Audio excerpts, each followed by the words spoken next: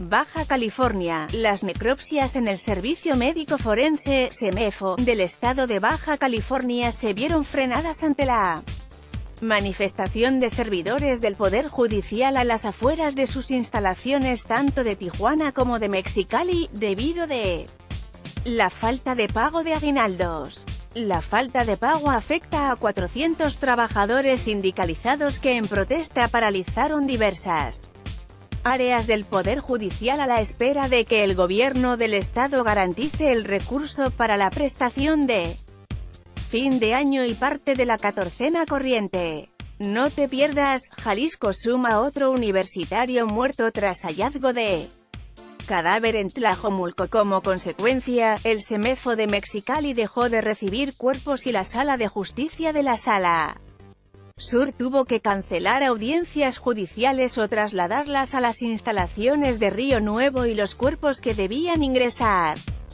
fueron canalizados a los velatorios del DIF, en Tijuana, en los últimos días la recepción de cuerpos y la atención a los ciudadanos se realiza después de las 3 de la tarde, posterior a que se retiren los manifestantes, explicó César.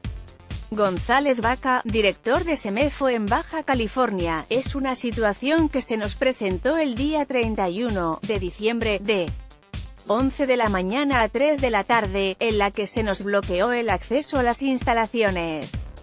Y hoy, al parecer, de manera indefinida.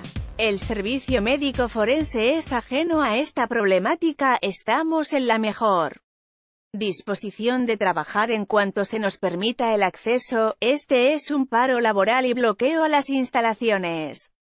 Por parte del sindicato de burócratas, somos respetuosos de este movimiento, pero sí nos hemos visto afectados, expresó González Vaca. César Raúl González Vaca, director del SEMEFO en el estado, informó que la toma de las instalaciones impidió realizarla certificación de cuerpos así como el resguardo y la realización de autopsias para determinar causas de muerte. El cierre de las instalaciones del SEMEFO afectó también a varias familias que acudieron para reclamar o identificar algún cuerpo. Han venido personas buscando familiares desparecidos o a reclamar algún cuerpo y lo que estamos haciendo es tomarles los datos para que en cuanto se nos permita el acceso llamarles y que acudan a hacer los trámites. En los últimos días, la recepción de cuerpos y la atención a los ciudadanos en Tijuana se realiza después de las 3 de la tarde, posterior a que se retiren los manifestantes, explicó González Vaca, es una situación que se nos presentó el 31 de diciembre, en la que se nos bloqueó el acceso a las instalaciones y hoy, al parecer, de manera indefinida. Este es un paro laboral y bloqueo a las instalaciones por parte del sindicato de burócratas. Somos respetuosos de este movimiento, pero sí, nos hemos visto afectados, expresó el director del SEMEFO. Los cuerpos han sido enviados a distintas funerarias de la ciudad para su resguardo en tanto se levanta el bloqueo de las instalaciones. Tan solo ayer cuatro cuerpos fueron enviados a una funeraria particular de nombre Santana para su posterior traslado al Semefo. Por la tarde, sin embargo aseguró que los bloqueos han dificultado el trabajo para entregar a quienes buscan algún familiar en el servicio médico. Un promedio de 100 trabajadores pertenecientes al Poder Judicial se manifestaron por segunda ocasión a las afueras de las instalaciones de Semefo, en Tijuana.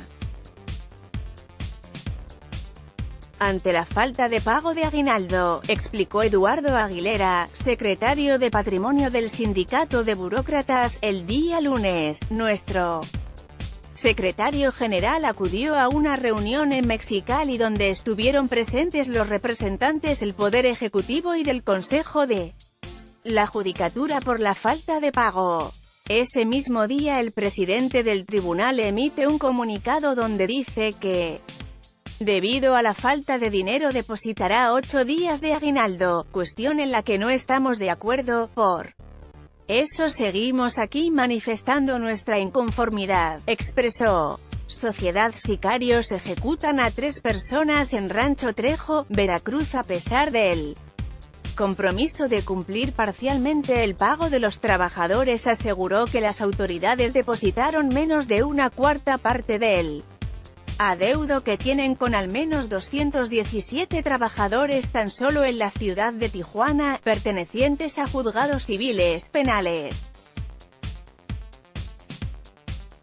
Justicia Alternativa y Servicio Médico Forense. La inconsistencia, aseguró, deja entrever que no existe autonomía en el Poder Judicial, sino que dependen del Ejecutivo, Lázaro Mosqueda, líder del sindicato de burócratas en Mexicali, informó que ayer se depositó a los trabajadores una parte del adeudo pero este corresponde a la actual catorcena y no a la prestación de fin de año.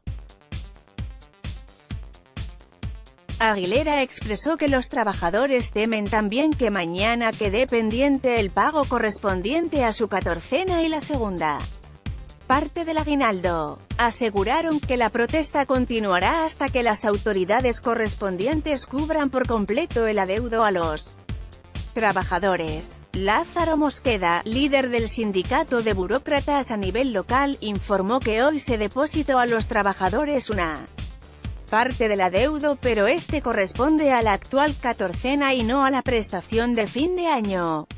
Los cuerpos que deban ingresar al SMF hoy serán canalizados a los velatorios del DIF.